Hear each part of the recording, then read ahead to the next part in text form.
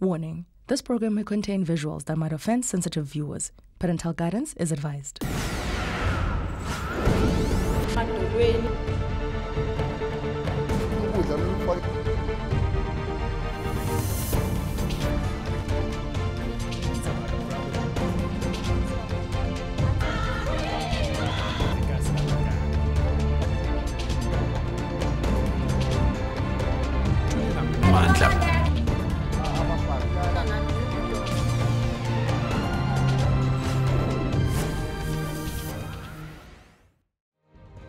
Tonight on Cutting Edge, with gender identity under the spotlight, we'll speak to two intersex activists who are challenging gender stereotypes and asking what is normal.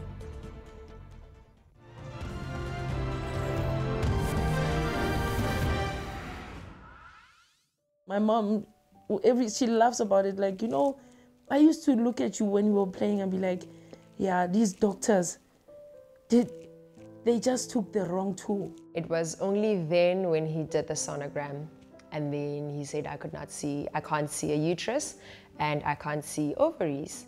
If you look at patients who are undergoing genital reconstructive surgeries for whatever reason, because they're not happening with their genitalia, it's about one in a thousand surgeries. I was angry at my parents. I was angry at the doctors. I was even so angry at God for letting it happen that they had to remove my penis.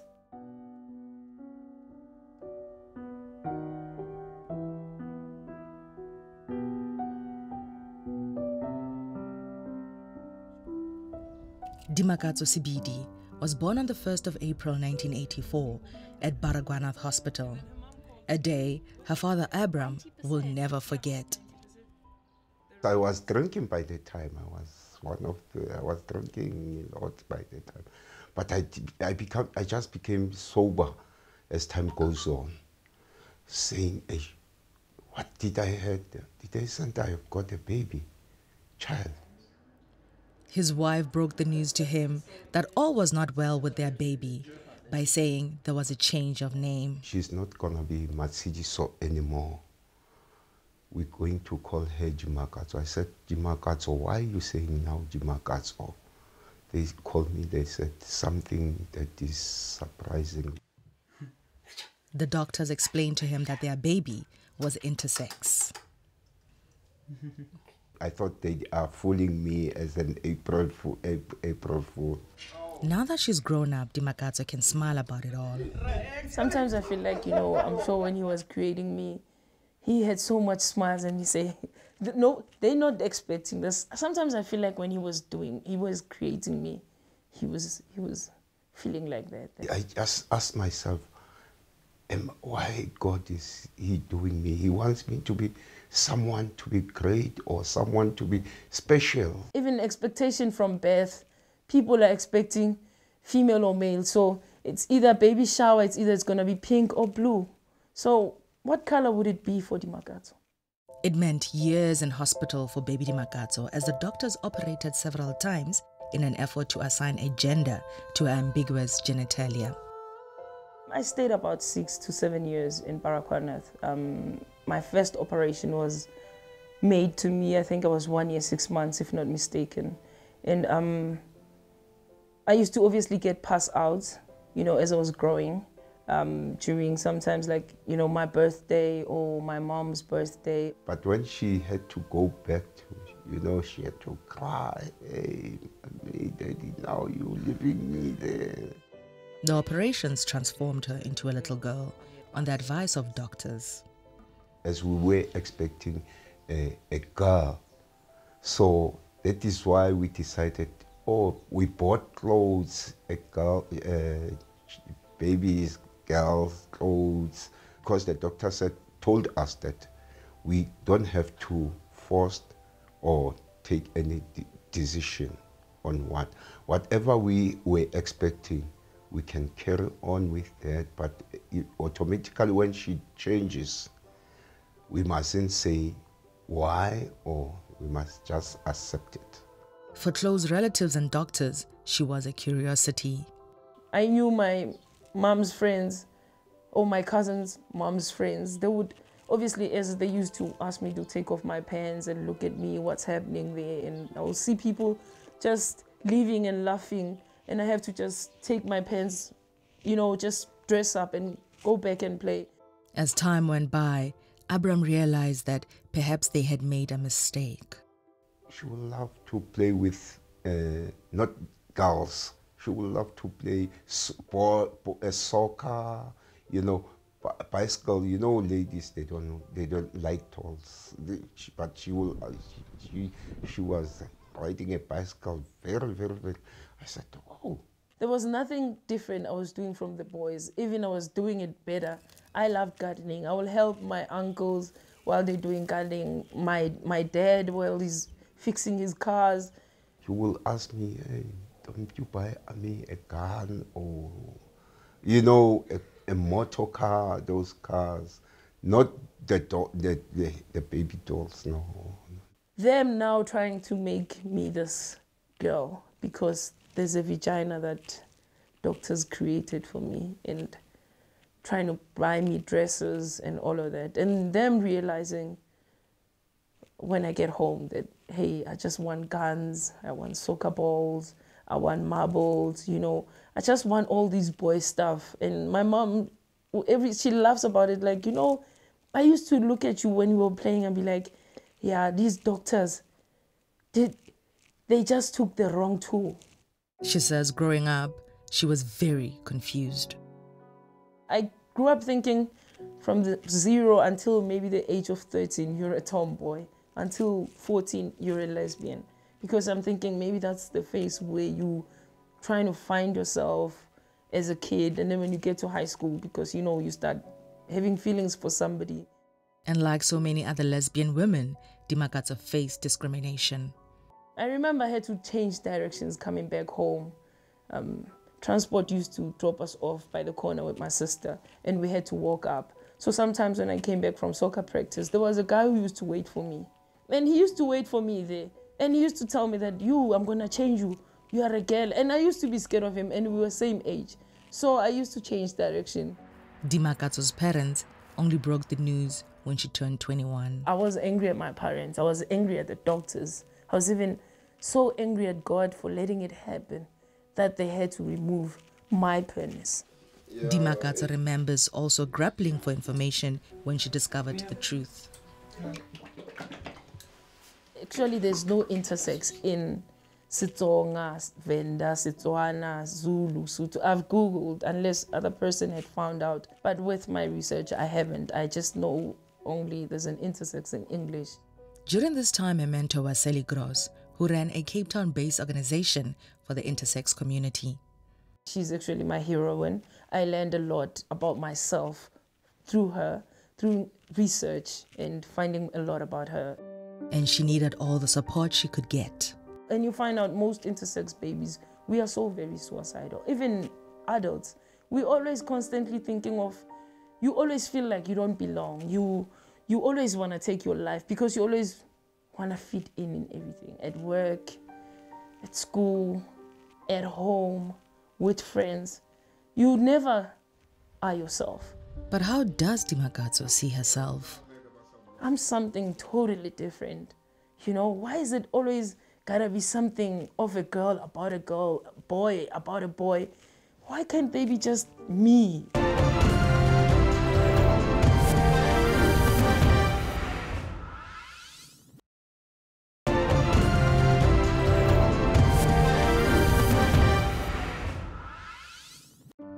With Dimakatso, it was obvious from birth that she was intersex. This is not the case for everybody. Sharon Rose Khumalo was born a normal baby girl by all appearances. Growing up in Mamelodi was fun and easy.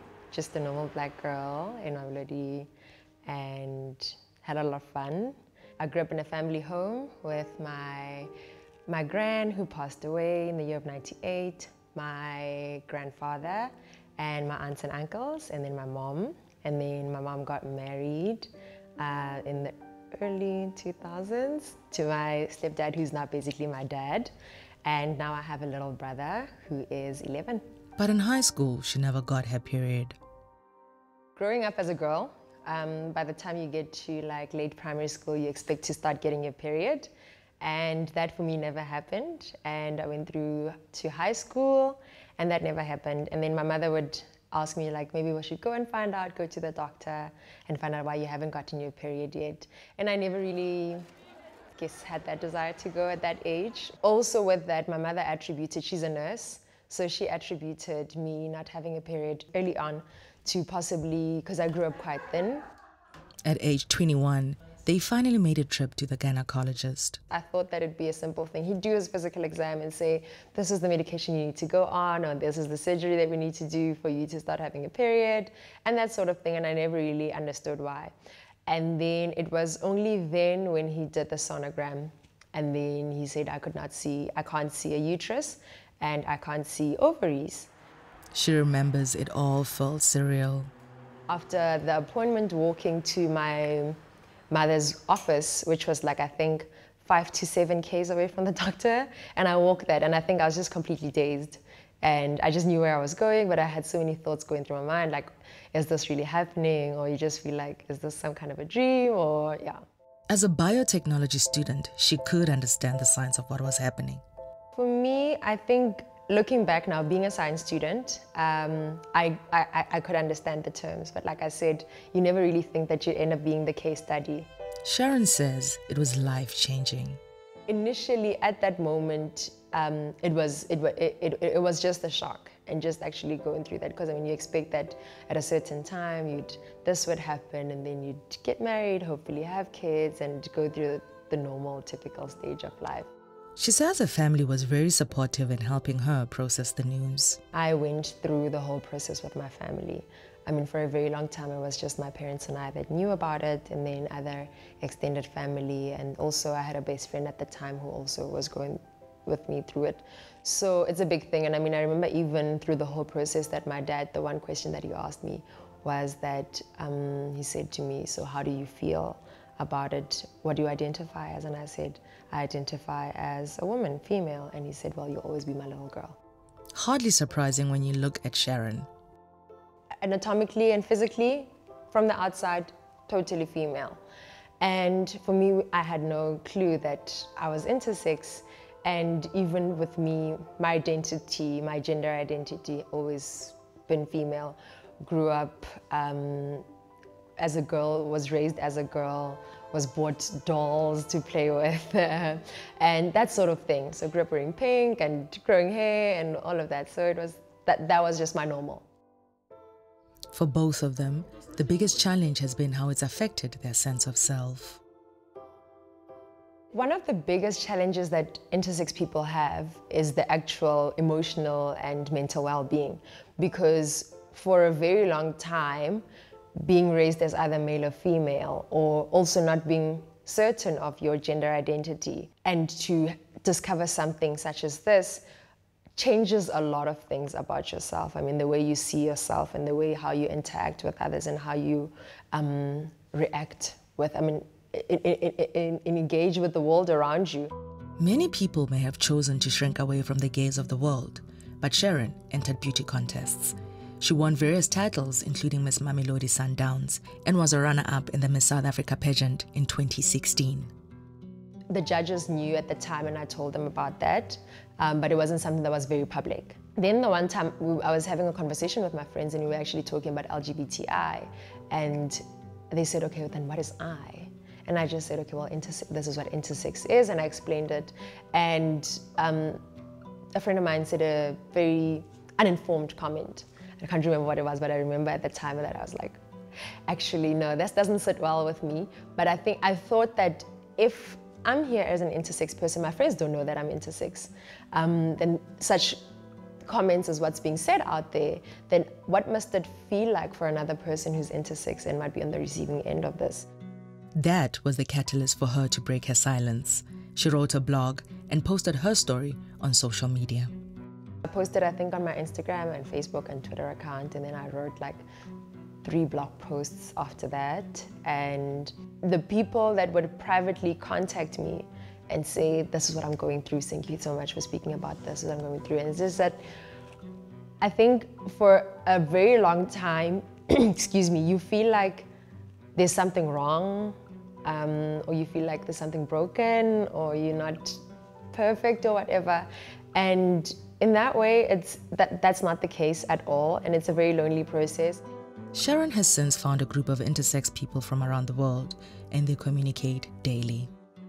It's been amazing to find people like myself, and you actually realize that in finding those people that are like yourself, you actually realize how different you are, just like everyone else. And that's the whole thing about diversity and uniqueness, that our uniqueness, that's what makes us the same. In rural areas, it is very difficult for parents to access the right care and to come to grips with the condition. Dimakatso and Sharon have become advocates for intersex rights. Most of the time, you, you, hear about infanticide and those stories, and it's quite sad. But I mean, when you look at it, and actually, if we as a country and government and the medical, I mean, the medical fraternity and intersex activists as a whole can go into these areas and actually educate those kind of people to actually say that this is not a bad omen, this is not an evil thing, this is a this is still a human being that deserves the right to life. Sharon faces some of her own personal hurdles, but she says she's taking it one day at a time. There's no biological clock that I'm racing against. By the time if I choose to have kids, then I'll be choosing with my own choosing. And by the time that I get married, which I really want to get married, that I will, I, I will do it at my own time.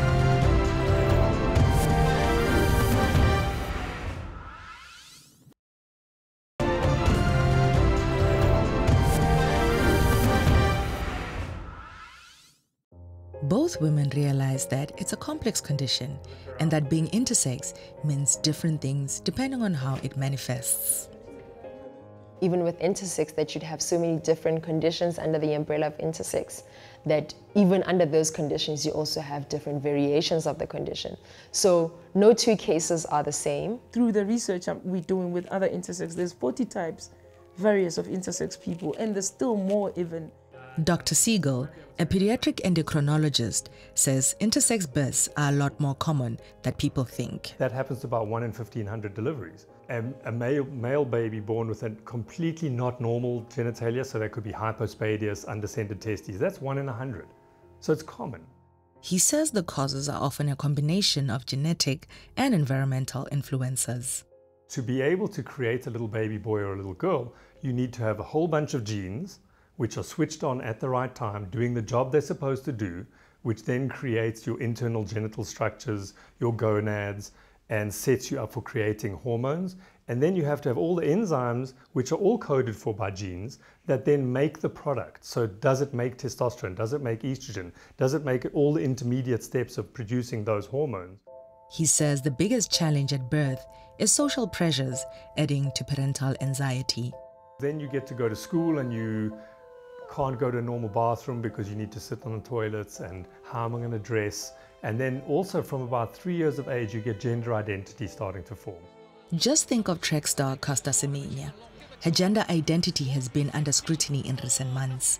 She has never openly identified as intersex, but many people speculate if her high testosterone levels aren't linked to an intersex condition.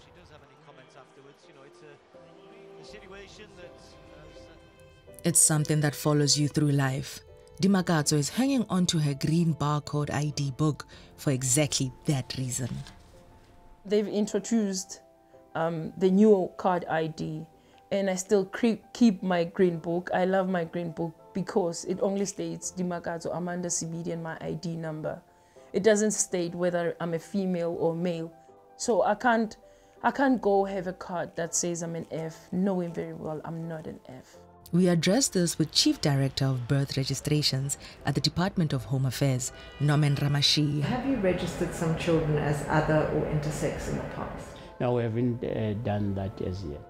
But he says that does not mean that the department won't consider it. Currently, that's what is in the system, uh, as you put it, male or female. Uh, but I think uh, it's not really um, an issue that we can say we cannot do. We just need a bit of uh, time and research um, as well as the amendment of our legislations and the systems, we can be able to do that. The I in my life, when I found out that I'm an intersex, I started realizing, feeling that I, for me, it always stood for being invisible, invisible or ignored. Abram says he and his wife were given no choice 34 years ago. They were told to decide and go ahead with the operation. But Dimakatso says she wishes they hadn't listened. Let your child grow until they have a choice to say, Mama, I'm going to keep them both. Or, Mom, I'm going to remove a penis. Mom, I'm going to remove a vagina. They have a right. Don't take that right away from them. This was affirmed by the Malta Declaration in 2013, which is aimed at ending discrimination and the right to bodily integrity and autonomy for intersex individuals the world over. Declarations such as the Malta Declaration are huge leaps in terms of intersex rights because more often than not, when surgeries were made, um, they were made prematurely, but then also a lot of the times the wrong gender assignment was done. Dr. Siegel admits that there is a movement that is delaying the decision and even deferring it to the child. Doing surgery when you're three means that you're committing a child of three to having genital penetration and dilatations on an ongoing basis until they're teenage. And I'm not so sure that's a, the right thing to do to a three-year-old. It should be a collective decision. I mean, the surgeon still has the expertise. They went to school for that. They have the, the medical and scientific expertise of what is currently happening. But then the, the parents are still going to go home with the child and have to raise the child. But at the end of the day, the child is the one that's going to live in that body. Dimakatso is a living example. So, what make you, why remove the penis? And hey, I turn out to be lesbian today. Why? What happened? You know, why did you guys make that decision for me? You know, sometimes I keep asking myself, you know, nobody asked my permission. Instead, experts suggest parents come up with a plan and try access doctors who have a holistic approach to the condition. You want everybody on the same page, even if that same page is we we don't know where we're playing, but we know we're playing in this box more or less, and let's see what happens over time. And I think the most important thing is go to a specialist center where they know how to do the test. And a lot of the tests have to be done at the right time and in the right sequence to give you the answers. And if you miss that boat, testing becomes much more challenging down the line. One of Dimakatso's biggest challenges was always would she ever find love? You know, my mom always said to me growing up, you know, Dimakatso, until you find somebody who, when you are with, you are you, then we have found the right one. And with me, I'm like, hey, where do you find somebody like that where you can still be yourself around that person and I'm me? But she did find love. Today, she's engaged to two women. They live together in this house in Vosloorus. It's not a threesome. We're not, it's not like the three of us are in love. You know, they I'm in love with both of them and both of them are in love with me. Yeah. It's not that when I'm not there, they're both in a relationship. No, they're both in a relationship with me or I'm in a relationship with them. And Sharon has this advice for parents of an intersex baby. In all honesty, it's just like genetics and the way that it was supposed to happen you did nothing wrong. And your baby is your baby is still your baby. And the best thing that you can do is love them and encourage them and support them. As a proud intersex polyamorous woman, Dimakatso Sibidi is blazing her own trail. She has only one wish. I pray for the world to come to that time where, you know, it's as if you are giving birth to a boy or a girl. Same excitement, same plans, you know? And when you're a parent, when parents give birth to an intersex, knowing that, you know, it's my unique child. I know she's different, and being different, she's gonna make or he's gonna make it. My child is gonna make a difference.